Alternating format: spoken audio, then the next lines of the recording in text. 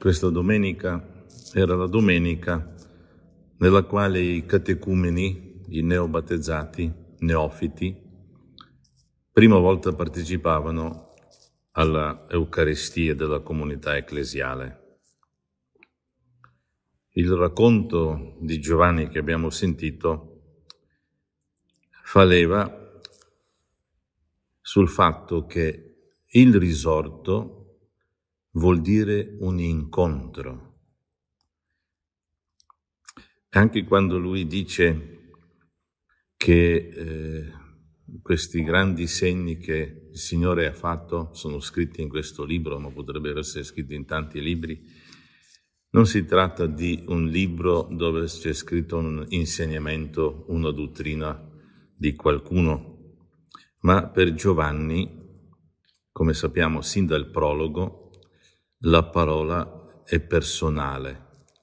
E allora si tratta di un incontro, si tratta di un testo, se vogliamo, un libro attraverso il quale si comunica una persona, non che una persona comunica, ma si comunica questa persona e chi la accoglie chi si incontra con essa vive un radicale cambiamento, ma proprio radicale come vedremo.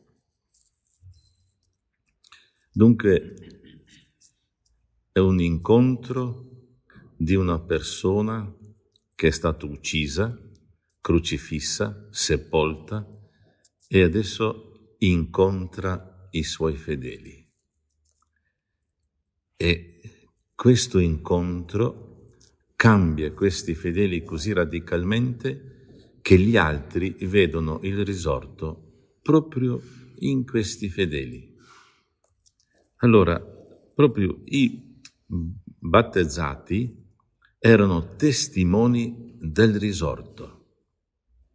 Così che questa domenica, che si conclude l'ottavo giorno, i neobattezzati entrando nella Chiesa, nella partecipazione all'Eucaristia, erano i primi a testimoniare che veramente il Signore c'è. Perciò proprio attraverso loro la comunità incontrava il risorto. Allora, questo vuol dire una gran cosa, che chi è battezzato diventa manifestazione del risorto, tanto che la comunità cristiana viveva l'incontro con il risorto attraverso l'incontro con quelli che si aggiungevano alla comunità, cioè ai neo- neobattezzati. Questo è molto forte perché, vedete, Tommaso voleva vedere e toccare, non solo vedere, ma toccare eh, le ferite, i segni della passione di Cristo. Anche i due discepoli di Emos non potevano oltrepassare la morte di Cristo sulla croce, si sono fermati lì. La nostra logica di questo mondo ha un limite ed è morte. Poi si può prendere le fughe diverse come la storia ben conosce, né? filosofia, religioni varie, come scappare a questa condanna che ci aspetta che è la morte. E questo rimane. È interessante no? che Cristo risorto deve fare adesso conto con questo zoccolo duro dell'umanità, della nostra mentalità, che non può pensare a una risurrezione in questo modo dove c'è uno che si presenta come lo si conosceva eppure entra per la porta chiusa. E comunque lo riconoscevano che è lui, non immediatamente, come sappiamo. Qualcosa è cambiato. Una trasfigurazione è avvenuta dell'umanità di Cristo.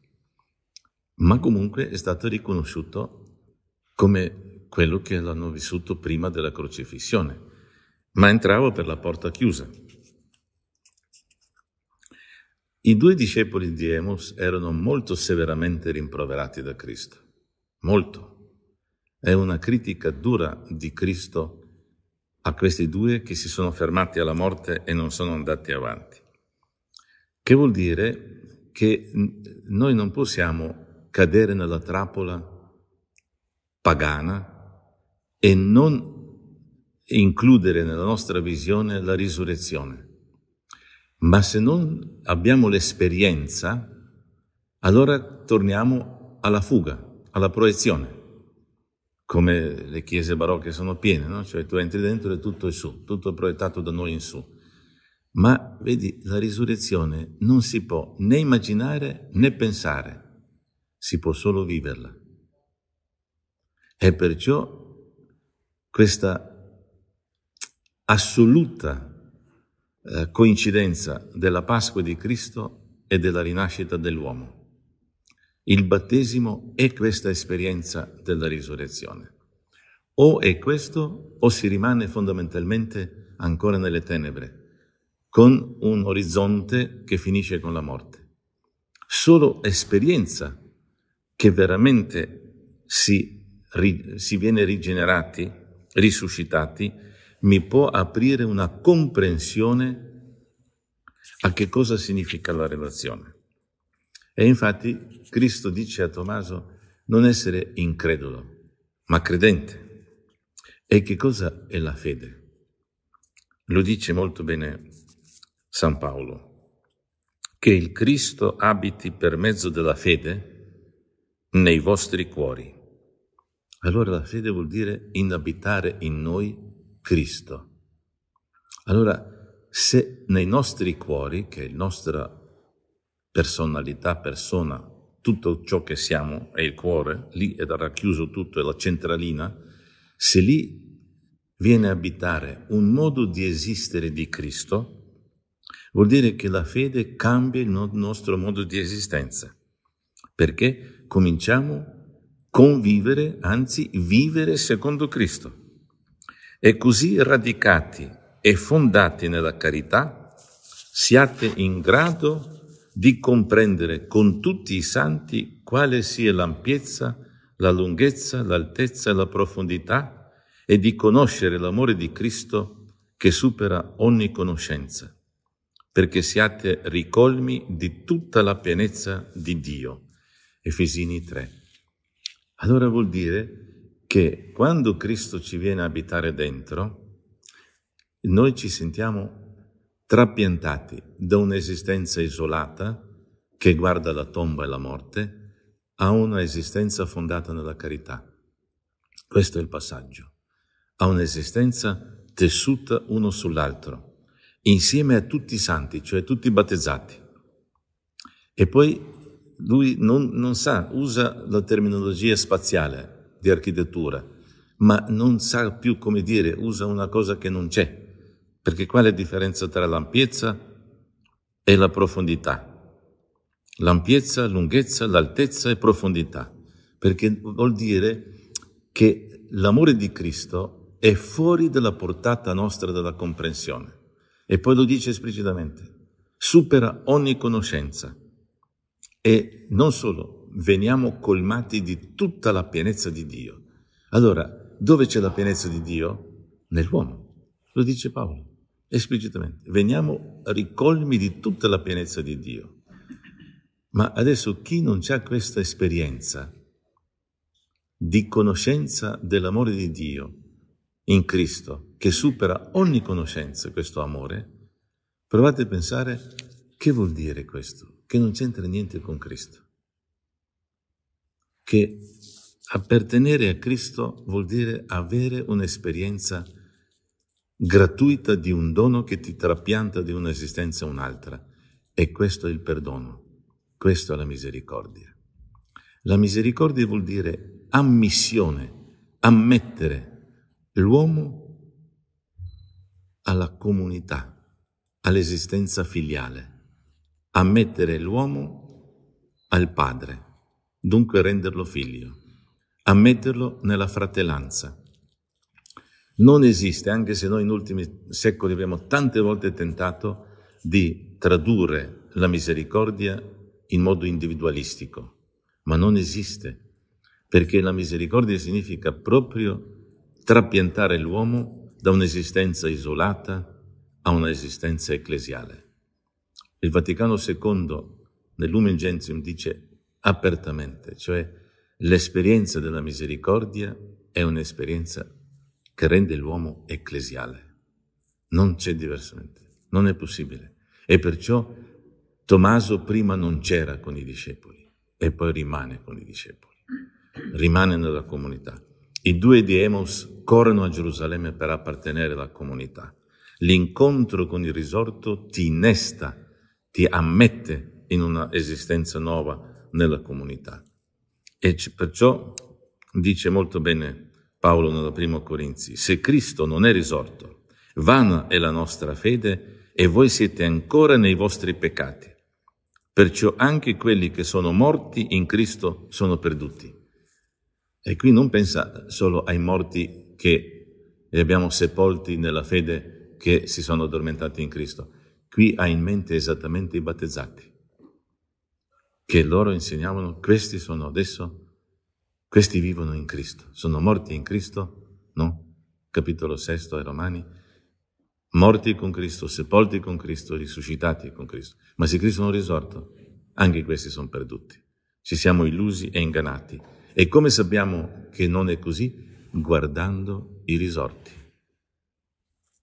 Ho già detto tante volte, ma non posso non dirlo, quando nell'esercito un ufficiale mi interrogava Dice, ma come tu puoi essere così stupido, un artista così, e credi alla Chiesa e tutte queste storie inutili? Dice, per esempio, Cristo risorto. È scientificamente dimostrato che non si risorge.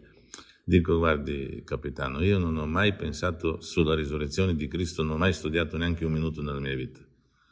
E non ho mai cercato argomenti. Perché?